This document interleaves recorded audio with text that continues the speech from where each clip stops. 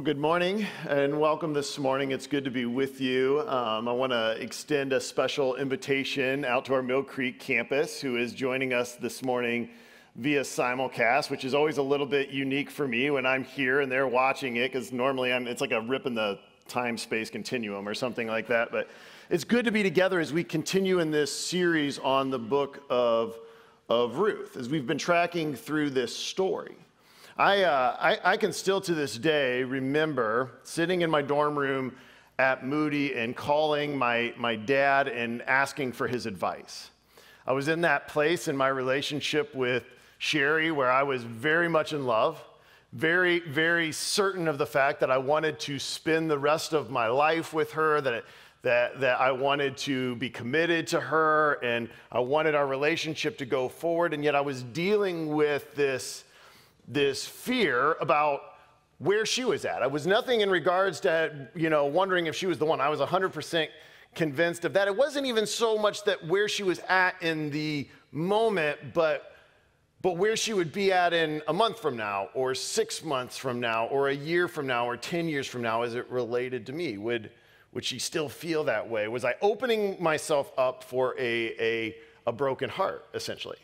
And I can remember my dad's words to me in that moment.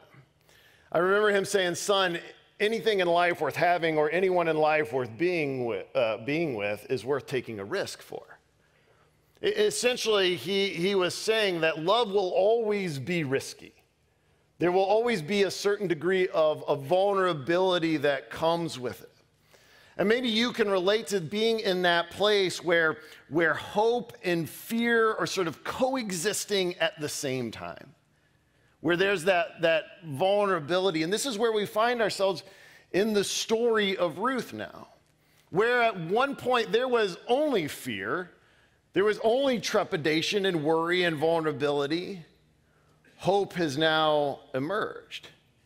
And, and, and Naomi and Ruth, they find themselves in that place of wondering what happens next?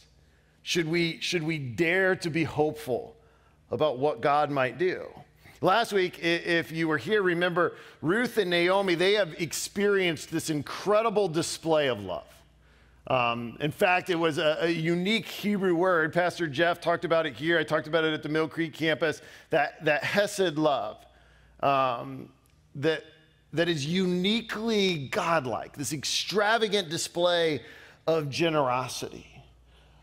Ruth is off in the fields of, of Boaz working there, and, and he, in sort of an unexpected way, just begins to display this to, to Ruth. In fact, when Ruth comes home from working in the fields in order to provide a little bit of food for, for her and Naomi, she comes home literally with weeks or a month worth of food. So much so that Naomi sees all of it and she said, Where, where have you been? Where, where did all of this come from? Who, who has done this for us?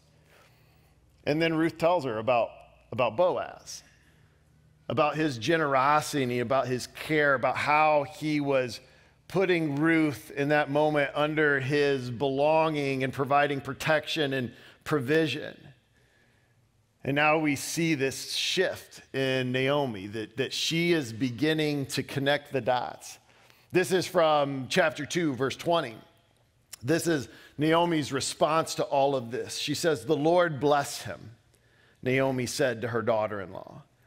He, speaking of Yahweh now, of her God, he has not stopped showing his kindness to the living and the dead. And then she added, This man is our close relative. He's one of our guardian redeemers. And so, this tangible, benevolent, generous expression of God's love that's been demonstrated through Boaz to Naomi and Ruth, this, this person is the very same person who has the ability to redeem their family line. He's their, their guardian or their kinsman redeemer. Now, at first glance, what, what appears to be just an amazing day, a, a really great day, like one of the best days ever, now has gone to a life altering day with the potential to change the course of, of Ruth and Naomi's future forever. And it all happening out here in, in the fields of a man named Boaz. This is where we find ourselves in, in the story. Surprisingly, or perhaps not surprisingly, Naomi is, is telling Ruth, keep, keep going back to the field of Boaz. He's protecting you, he's watching over you, and she stays there all the way through the end of the harvest. And so now we're back in, in Ruth chapter 3. And what I want to kind of unpack this morning is I want us to look at this, what happens here through the lens of the eyes of the perspective of the three major characters here. So let's begin in verse 1. It says, One day Ruth's mother in law, Naomi, said to her, My daughter, I must find a home for you where you will be provided for. Now, Boaz, with whose women you have worked, is a relative of ours. Tonight he will be winnowing barley in the threshing floor. Wash, put on perfume, and get dressed in your best clothes. And then go down to the threshing floor, but don't let him know you are there until he has finished eating and drinking. And when he lies down, note the place where he is lying. Then go and uncover his feet and lie down, and he will tell you what to do. Let's pause there. Because I, I want to begin by considering what I'm going to call Naomi's hope. Naomi's hope. You remember last October, it was about the, um, the Powerball lotto was all over the news because the jackpot has escalated to $1.5 billion. Like the sort of money that, that, that's almost hard to wrap your heads around. And, and I, I don't really play the lotto, but you can't help when it's in the news like that to kind of start like you're driving around, you hear it on the radio, and start to daydream a little bit, right?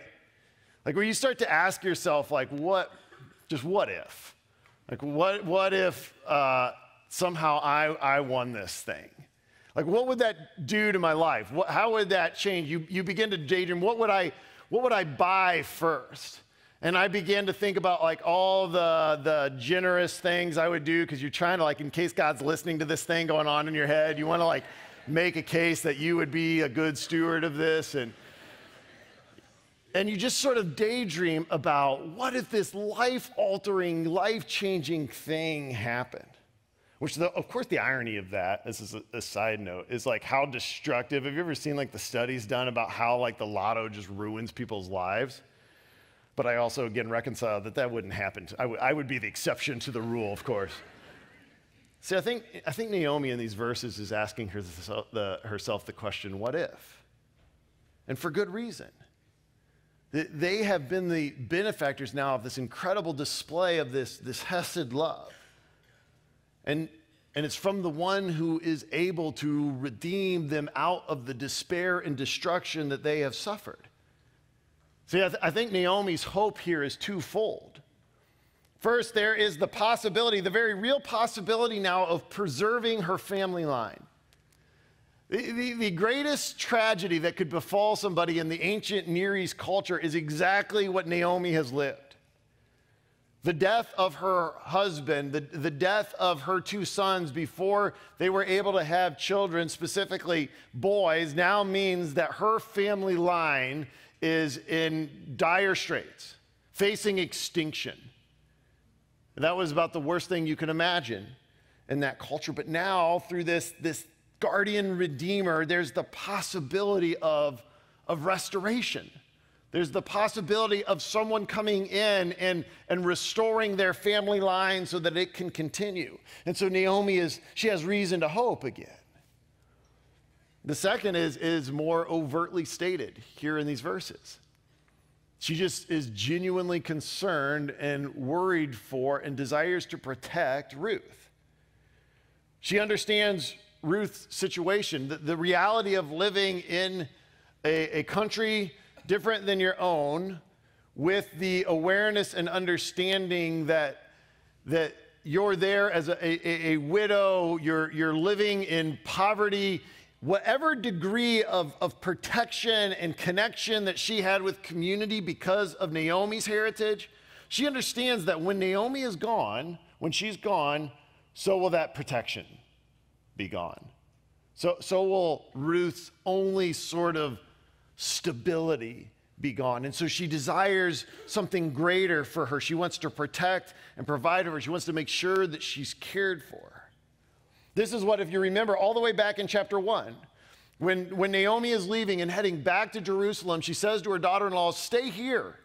The, the only hope for you is here in Moab. It's here with your families. The only possibility of, of you finding um, a, a, husband and restoring your family lines, it's, it's back here.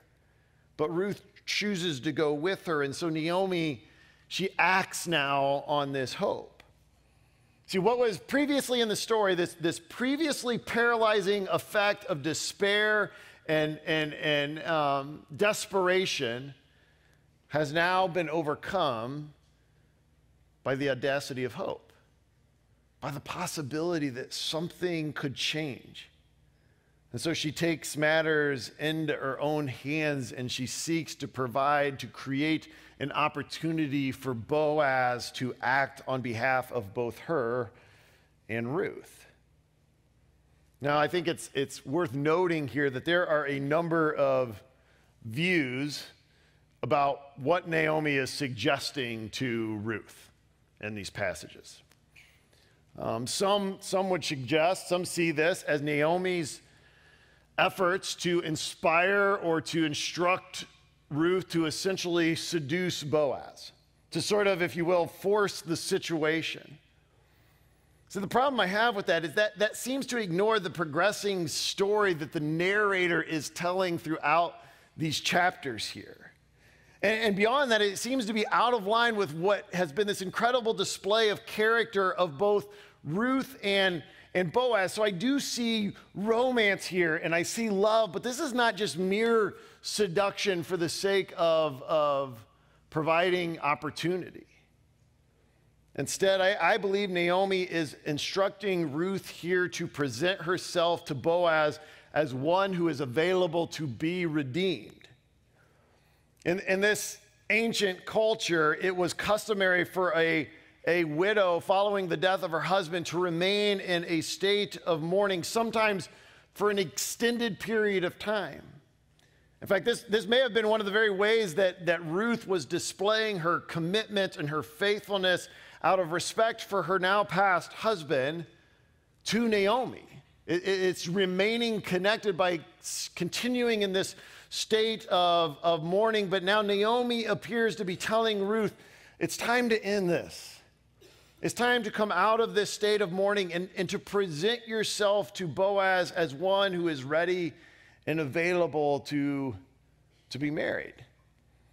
Like you get the, uh, the impression of like the, the slightly over involved mother or mother in law, right? Like you got to get back out there. And, and that's, what, that's what's happening in the story.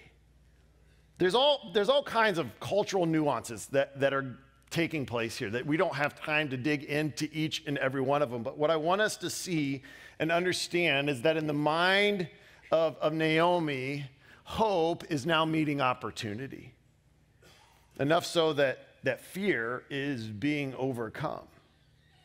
Naomi is, is now acting on hope, and her actions and her requests of Ruth, these are, these are both bold and, and risky. But in her mind, she's asking the question what if?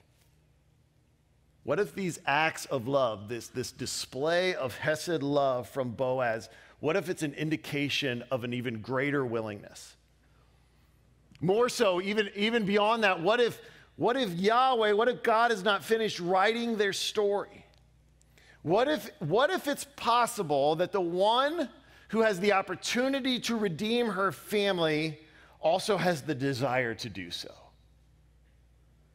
What if Naomi has hope again? This next perspective that we see then is, is what I'm going to call Ruth's offering.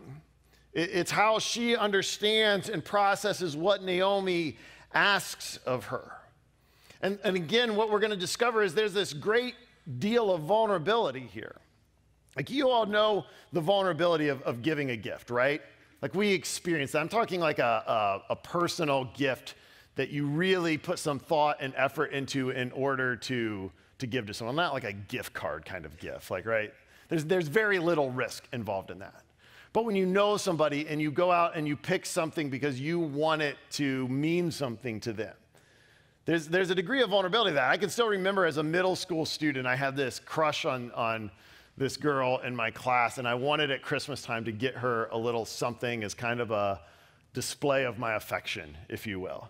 I went out, my parents took me to the ball and uh, the mall, and I bought um, U2's Rattle and Hum um, because I knew like that would communicate love, right? And and I can still remember going up. I remember my parents driving me to her house, like getting out of the car, walking up her front porch, ringing the doorbell. Like I can still feel like my stomach, I kind of want to throw up just as I'm talking about this, right?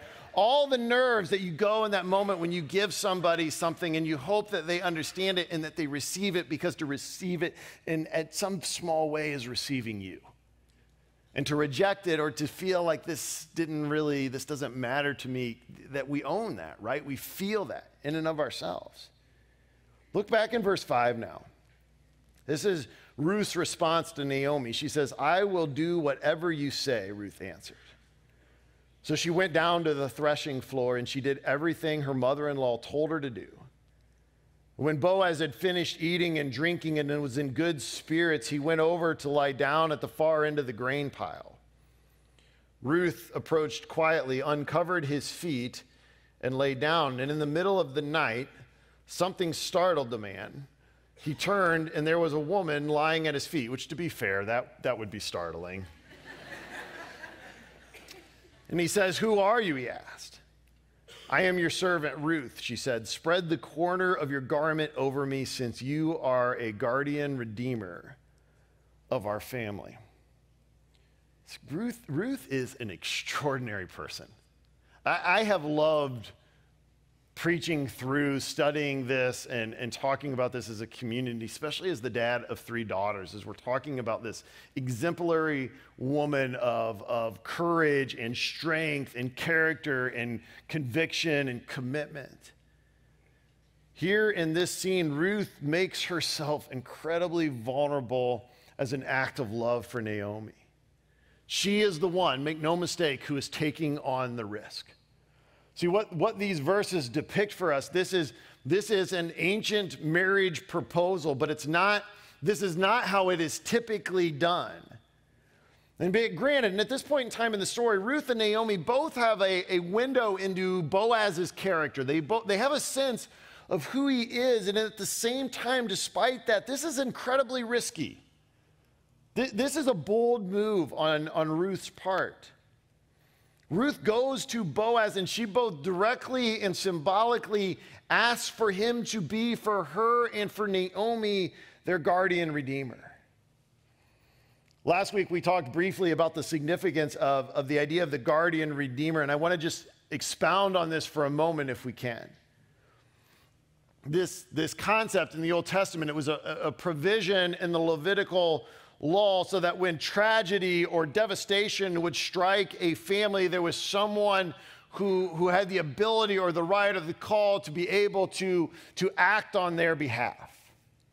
And so, if, if somebody in a family line was, was sold into slavery out of desperation, the guardian redeemer could come and they had the right to be able to buy that person back. Or if in the case of Elimelech, if a piece of family property is, is sold away, the guardian redeemer can come back and restore that to keep it in the family line so they have a way to provide for themselves. If there was an injustice in your family that had not been taken care of, the guardian redeemer could come and act on behalf of the family to bring about justice. They were there to provide for the weak and the vulnerable. The, the guardian redeemer is a, a savior relative. That was their role in the Old Testament. And there were three things that, that had to be true of someone who was called to act as the guardian redeemer for the family. One, they had to have the position, they, they had to be in line to be able to act. Not anyone could fulfill this role in, in their culture. Secondly, they had to have the means. They, they had to have the sheer ability to be able to bear the cost of what it would take to redeem someone. So they, whether that was mere strength, if you're talking about a justice situation, or if it was financial means, if you're talking about restoring land or buying someone out of slavery, they had to have the ability to do that. But then, thirdly, and perhaps most importantly, they had to want to. They, they had to be willing to take on that role, which is why you see Ruth come and, and ask Boaz. Like, picture this with me. Ruth knows what she is asking, she, she knows who she is. Think about all the times throughout these first three chapters when they've talked about Ruth, they've, they've referred to her as Ruth the Moabite. It's as if the narrator will not let us forget that, that this is an outsider. This is somebody who doesn't belong to the family of Israel, which just adds to the sort of Uh, just overt, extravagant nature of what Boaz is doing here. She understands this. She understands that, that she is outside of the family, that she is poverty stricken, she's a widow, she's desperate, and yet she's an incredible person of character. And she's taking on a tremendous risk to come to Boaz to ask him and say, Will you, will you take me as your wife? Will you act to restore our family? Look again in, in verse 9 here.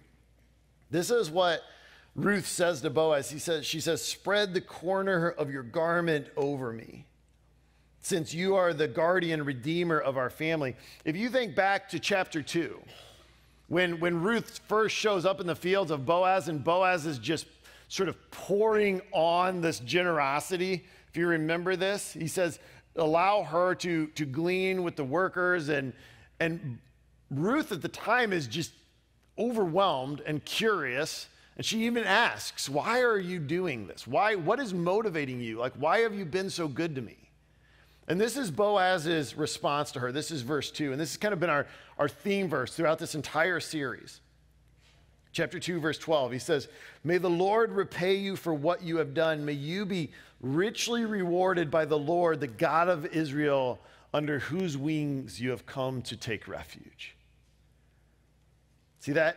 This word here in, in chapter uh, 3, or in chapter 2, that's translated as wings, is is the very same word in chapter 3 that's translated the corner of your garment when she asked him, Will you, will you put the corner of your garment? Which seems like a, an odd thing to have such a diverse translation. And yet, both of, in both of these instances, the, it's a picture of protection, it's a picture of, of belonging under the care of, under the protection of. So essentially, as Ruth is approaching Boaz, she's saying, Boaz, will you be the answer to what you prayed for on behalf of me?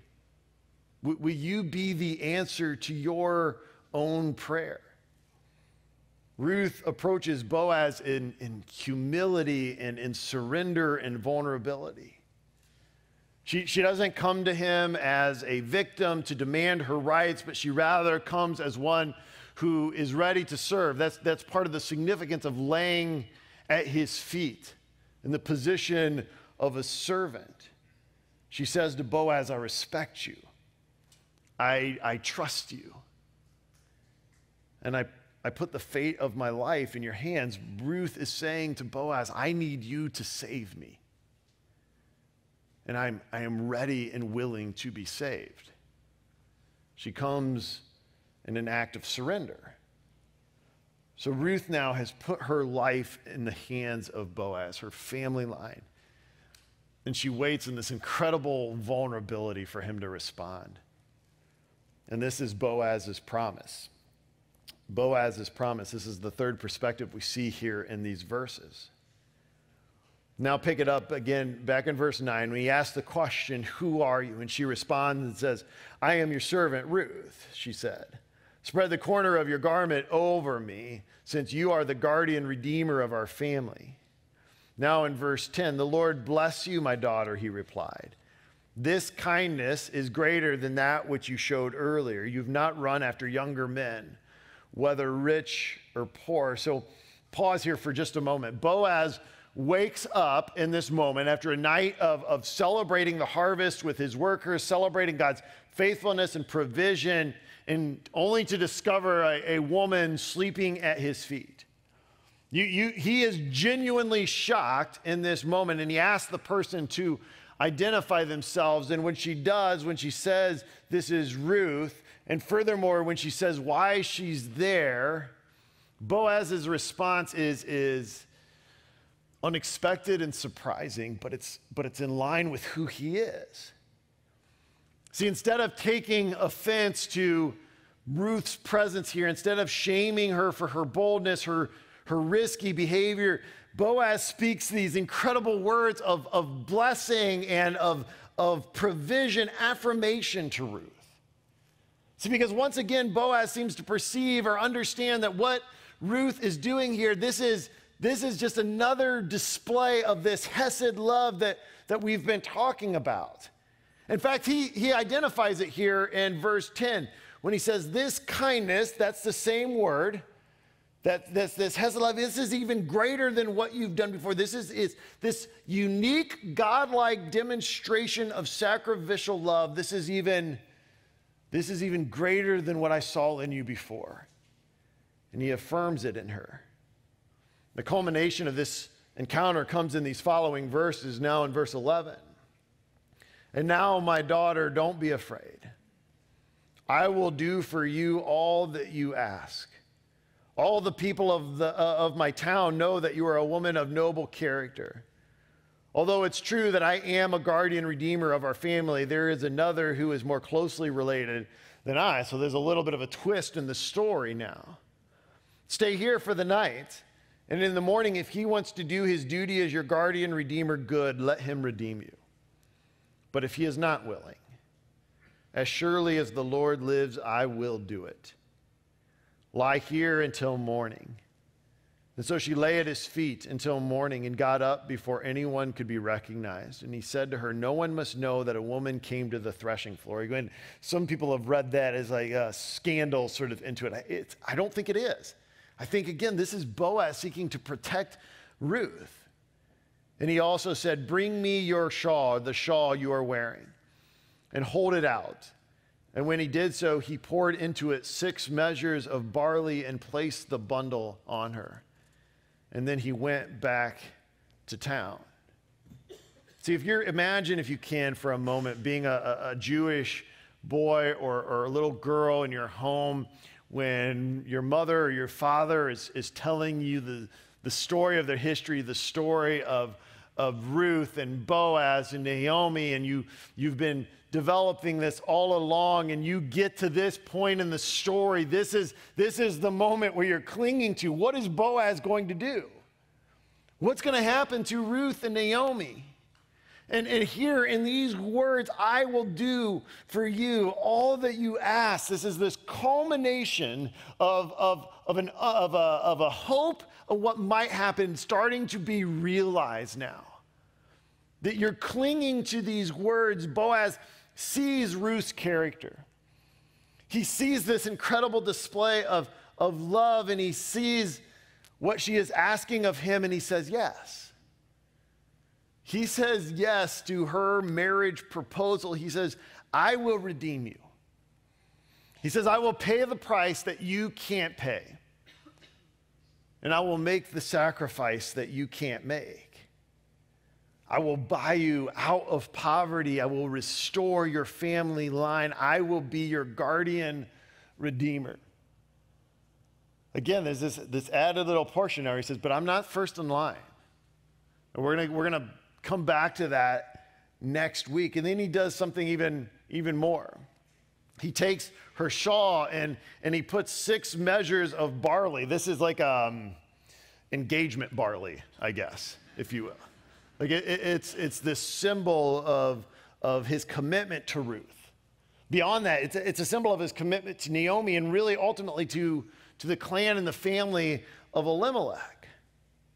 You see, the story of of Naomi, the story of Ruth, the story of Boaz. It's the story of salvation inside of the story of salvation. It's inside of what our, our Chapelstreet kids call the big God story. So the whole Old Testament up to this point, it's been progressing towards this, this, this work that God is doing to return humanity to what he created them for.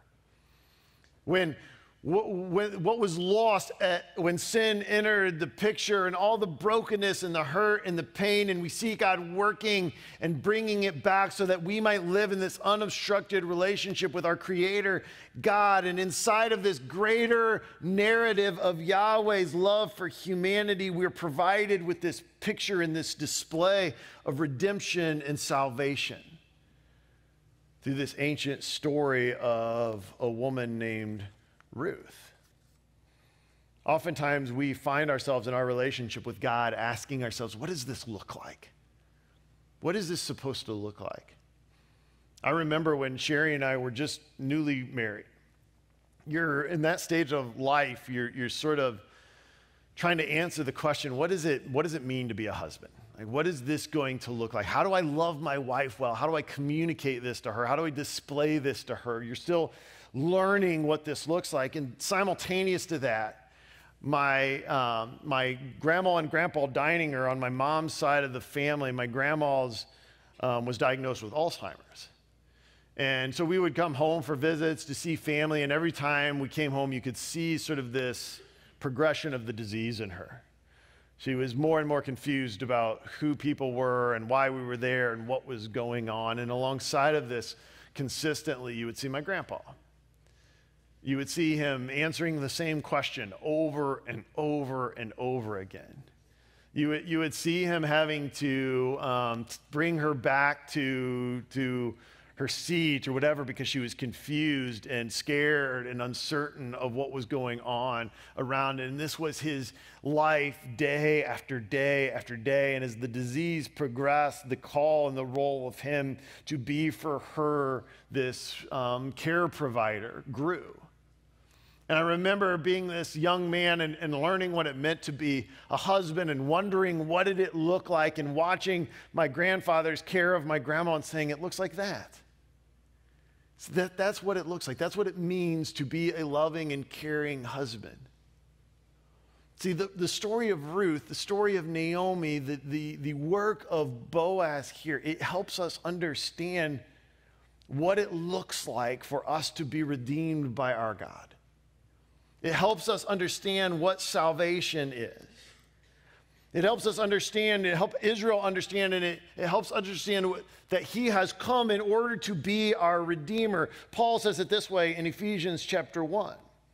He says, In him we have redemption through his blood, the forgiveness of sins in accordance with the riches of his grace. When we find ourselves wondering what it looks like to be loved by God, we come back to the story of Ruth and Naomi.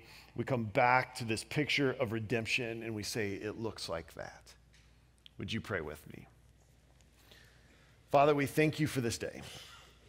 We thank you again for this incredible display of, of this unique, godlike love that is being poured out in commitment and in connection to you. And we ask, God, that you would again show us through this ancient story what you have done for us, that we would understand more personally the way that you have loved us and how you acted and moved in order to redeem us. And we ask these things in the name of Jesus. Amen.